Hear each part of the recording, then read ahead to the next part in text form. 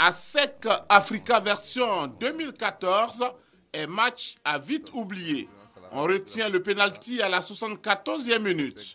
Penalty contesté par les joueurs de l'Africa Sport d'Abidjan. Et pourtant, il y avait bien faute.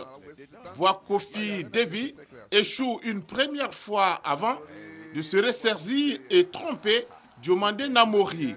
Sur l'action, l'arbitre Ndri Kwame a été généreux parce que Diomandé Namori, le gardien de l'Africa Sport d'Abidjan, méritait le rouge. La SEC empoche les trois points, mais pas avec la manière.